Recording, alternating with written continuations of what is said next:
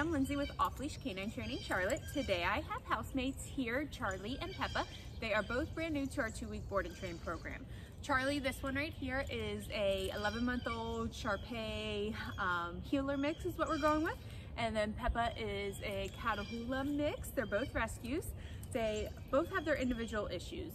Char they both like to jump and pull and get a little bit mouthy. Charlie gets destructive and wants to chew on the door frames, the wood in the house. They both have crate training issues. They both absolutely despise the crate, so we'll be working on that as well. Peppa here is a little bit scared of men, so she'll react to them. Um, she's a little bit dog reactive depending on the dog. She resource guards high value toys here from Charlie. They both should know sit.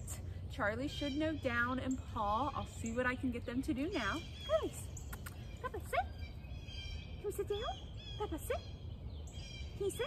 Oh, that's a good girl, sit. Can we lay down? Can we lay down? No?